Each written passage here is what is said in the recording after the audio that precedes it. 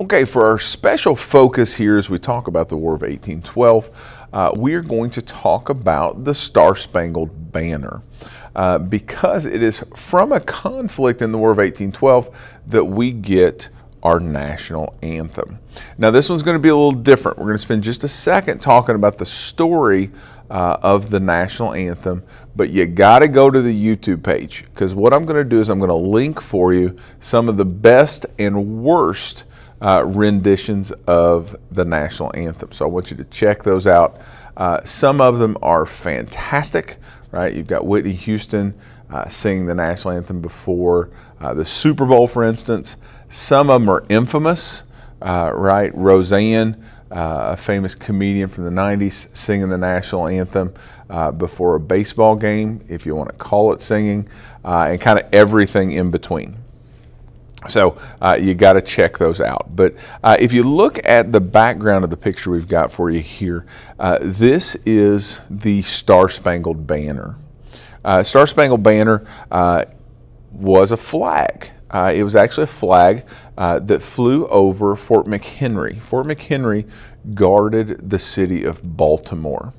Uh, so uh, there, there's a river that runs there, and Fort McHenry is there to keep ships uh, from getting into uh, the city of Baltimore.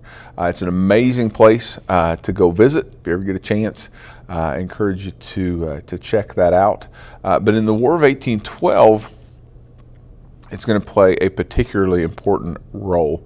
Uh, this flag is enormous. Today, if you wanted to see it, you go to Washington, D.C., uh, to the Smithsonian, our National Museum, uh, and the flag has been uh, preserved there. Uh, but the fellow that had it made, um, had it made, it, I mean, you're, you're talking the size of I've ever been past one of those car lots that's got the enormous American flag that's hanging there. Um, you know, this this thing is just ginormous. Um, our anthem actually comes from one of the most tragic parts uh, of our war history. Right as we were talking about the War of 1812, uh, you know that as part of that conflict, the British burned our nation's capital. That's right. They took out Washington D.C. Um, burned the White House, burned the Capitol building, uh, left the city in ruins and were marching towards uh, the city of Baltimore. Uh, had they taken the city of Baltimore, if you know where that's at on a map, um, they are effectively uh, kind of cutting the country in half uh, with that. So it was essential for the American cause that we end up um, defending Baltimore. Well, in comes uh, Fort McHenry. And so Fort McHenry is there, um, and guarding the city of Baltimore. Uh, and in the city of Baltimore, there's a man named Francis Scott Key. Uh, and Francis Scott Key um, was a lawyer. Uh, he goes out actually to a British ship um, before the battle starts uh, to try and negotiate uh, a prisoner release. Uh, but the battle starts, and so he's forced to stay on the ship. While the battle's going on. And so he's worried about how this is going to go. Um, and he's looking out at this fort to see whether the British have taken the fort. So the fort has this enormous American flag above it, the Star Spangled Banner. Uh, and so uh, he keeps looking to see if that flag is still up there or if the British have taken the fort and would raise the Union Jack uh, above the fort. Uh, now, if you know the words of the song, right? Oh, say, can you see by the dawn's early light what so proudly we hailed? at the twilight's last gleaming. So it's morning time, right? Can we still see the flag that we saw uh, in the dwindling hours of daylight the night before, right?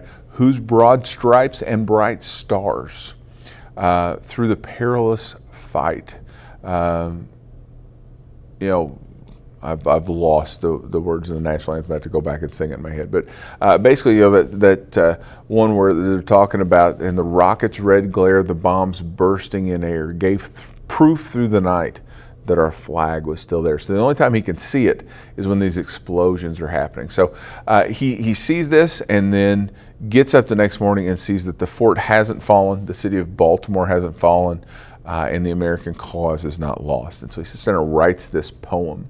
Uh, and then eventually the poem is set to music, uh, and later it will be adopted uh, as our national anthem.